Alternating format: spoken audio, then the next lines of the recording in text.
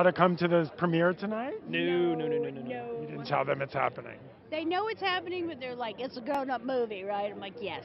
But they're like, but we're in it. I know Vivian especially is like, well, I can at least someday see my part, right, Dad? And she's she's already got like she's laying the track for for a They long keep bringing war. up that they know there's swear words in it and they know what the words are. I was like, stop, stop talking about it. I'm not going to say the word, but it may start with the B. I was like, stop, stop.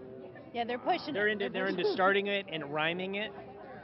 Oh, okay, go ahead. But I'm not gonna Freestyling. I'm not gonna say it. They're learning it at school because I'm like, you don't hear it here. Do you ever hear Mama talk like that? And they said no, but people in school tell me what you say. I'm like, oh. Like who in your school is watching those? Those those movies. Yeah.